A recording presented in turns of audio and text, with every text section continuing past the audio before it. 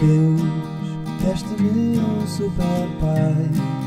Ele gosta tanto de mim e eu gosto tanto, tanto. Só o quero sempre assim.